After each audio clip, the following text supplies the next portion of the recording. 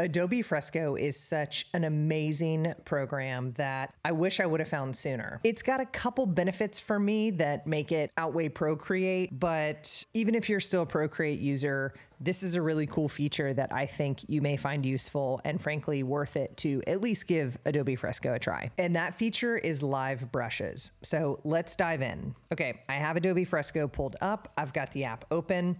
So over here on the left hand side, you're gonna see three different types of brushes. Now, before I get into this, um, I do wanna say I've got a full length video that's about 55 minutes long that goes through all of the different tools in Adobe Fresco, and it works from the left to the right hand side. It briefly touches every single tool to give you an overview in less than an hour. So if you've got a spare Saturday, spare Sunday morning, and you wanna fix a cup of coffee, cup of tea, and really dive into all the tools, definitely go check that video out. I'll link it in the descriptions below. But for now, let's stick with the live brushes. So over here to the left-hand side, when you open Fresco, once you have selected your document, you're gonna see three different types of brushes. The first being pixel brushes, which is selected right now. The second being live brushes, which is what we're gonna go into. And the third being vector brushes, which we're gonna cover in another video. So we're in the live brushes in the live brushes, you have two different options. And the cool thing with Fresco is that you've you can work in vector and in pixel or raster simultaneously in the same piece of artwork. So one good thing to note for those that may be curious is that the live brushes are raster or pixel brushes. They're not vector. So just to kind of get that out of the way and let people know up front, um, that's what we're working with. So first we want to go with the watercolor. And let's just go with the watercolor soft wash brush. That seems to work for now. So let's pick um, a color. And again, I'm not gonna go through all the tools. You can watch that in the other video, but let's just pick like a pretty pink or something. And briefly, this just goes through the size of the brush. You can pick your flow, and then you can also pick your water flow, okay? So let's kind of start to lay this brush down a little bit in this pink. So you'll notice that as I'm sort of, and let me zoom in a little, you'll notice that the brush is very similar to a watercolor brush. It's got, you know, very similar features.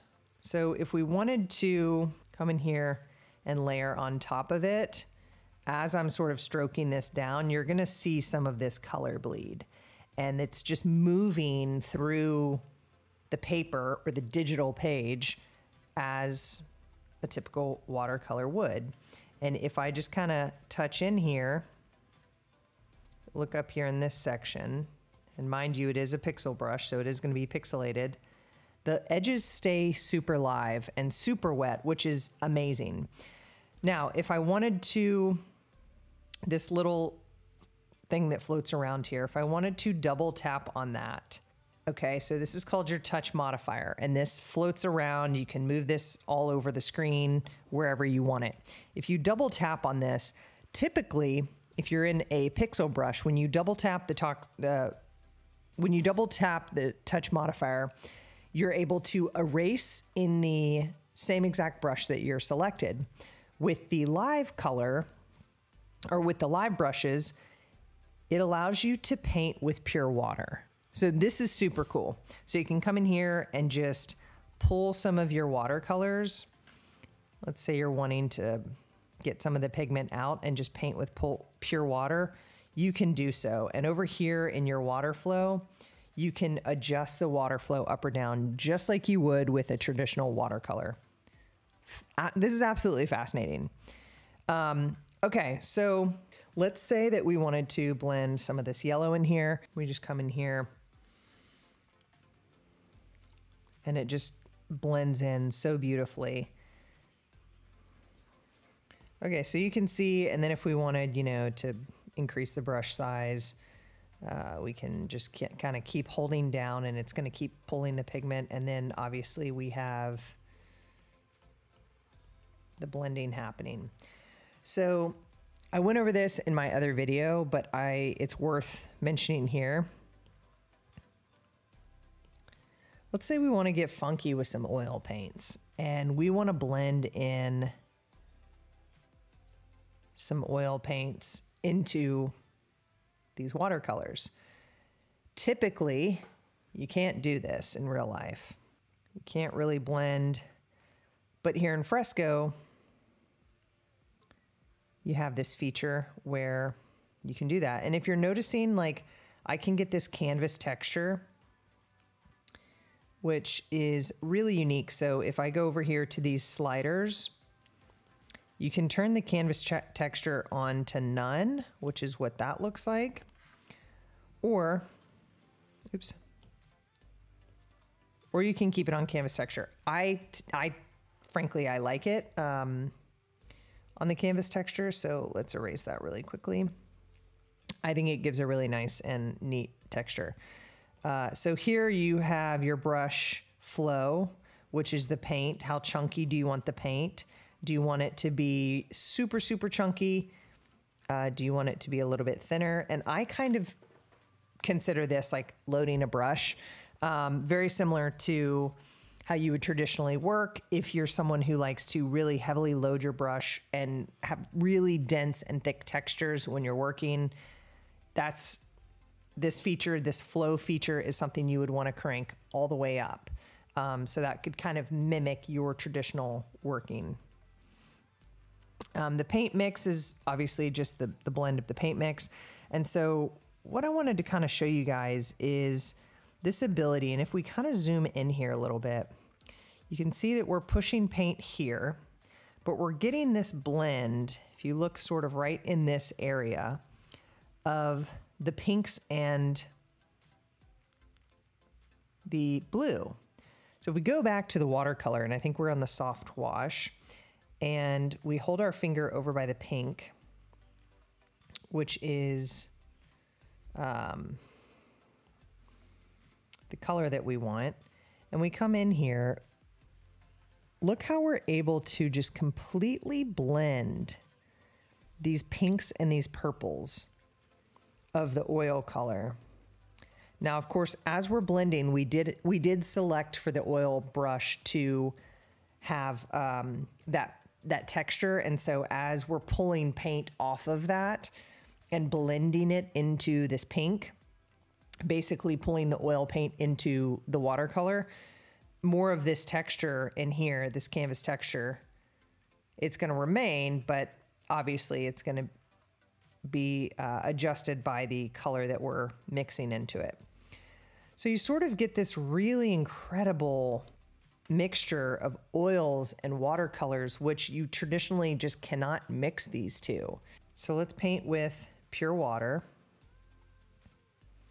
and just kind of see how this all blends. And we want to maybe, maybe let's turn the water flow down a little. But it's truly remarkable and I'm just swirling my brush kind of in a circle and painting with pure water to get this really unique blended watercolor kind of wash. And I'm not really trying to make anything here, um, but really just trying to highlight and showcase the capabilities of this particular tool in fresco, which is super unique to fresco. I've not seen anything out there, um, at least that I've worked with personally, that I can speak on that can replicate and do something like this. So, another cool feature of fresco is if we go in here and uh, we want to go back to our brushes. There's not a ton of selections for the live brushes, more so in the pixel and the vector brushes. But in the event that we were mixing and working with a ton of different brushes in here um, and utilizing what we have, Fresco has this really neat feature where you can go to recent and see all of the brushes that we use. So we can bounce back and forth pretty seamlessly. Let me go here to charcoal and let's do a charcoal media. And I'm just putting all this on one layer, by the way. This is that's just what I'm doing. So let's paint with pure water. We just laid down charcoal and now I'm painting with pure water to completely blend it into the mix. This is as close to working with traditional media that I've experienced that you can get with a digital program. It's pretty fascinating. Now, one thing that you can do, let's say that you're working on this painting and you get a call, you need to run, you got to jump to a meeting, you're done working on it for the day. What's amazing is with traditional media, typically speaking, it's hard to keep watercolors wet. Oil stays wet obviously a lot longer, and there are some tactics you can use to keep your work staying wet. But in the event that you needed to leave this alone and come back to it, you can leave this document in perpetuity, come back to it three years later, and still work with the wet media. If you wanted to set the media, you come over here to your layer, and down here at the very bottom, you have something that says dry layer. And that will basically set everything as you have it completely dried. And then you can come back over and layer on top and basically repeat this process all over again. All right, so I hope that shows you some of the live brush features in Adobe Fresco. I wanted to go through it really briefly and just showing something here just blending some colors. But if you guys are interested in me doing like a full paint video where I'm painting like a full abstract painting and I'm utilizing the live brushes and whatnot, um, let me know in the comment section below. I'm more than happy to do like a paint with me, or um, I also do like illustrations and doodles and things like that. So if that's something that's interesting, please let me know in the comments. Otherwise, I hope this was helpful. And if you're looking for more of a complete walkthrough of Adobe Fresco, definitely check out the video I mentioned earlier, um, which I'll also link in the description. All right, happy creating. Thanks so much.